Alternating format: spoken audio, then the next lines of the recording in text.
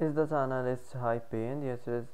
Uh, pay, uh, PayScale reports an average annual salary of uh, 400 491k and 296 uh, lakhs while list indeed this uh, an average salary for a data analyst at uh, 550 57k and uh, 907 uh, lakhs while this range varies uh, each salary figures is significantly higher than the average annually salary across all occupations in India.